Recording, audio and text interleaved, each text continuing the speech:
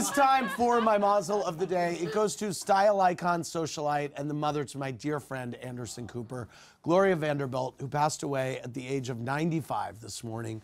Born to one of the most famous families in the country and thrust into the spotlight at a young age, Gloria Vanderbilt made a name for herself, not just as a Vanderbilt, but as a painter, a writer, an actress, and of course, a fashion designer. She lived a life filled with incredible peaks and impossible obstacles.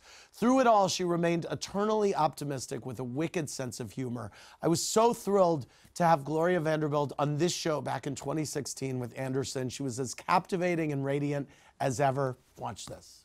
My mom's housekeeper, Nora, actually made the spaghetti sauce. my mom, I knew that. My mom, my mom would unfreeze it. And that, no, that, that was not true. Give me a break. You, of these three gentlemen, who was the best in bed?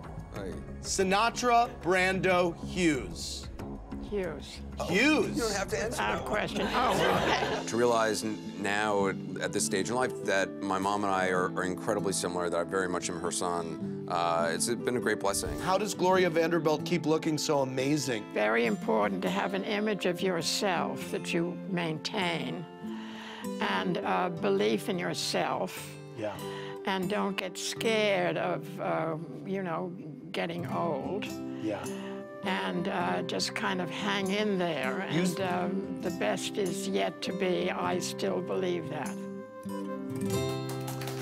We are all sending Anderson all of our love as we honor a great, great woman tonight. Uh, and may Gloria Vanderbilt rest in peace.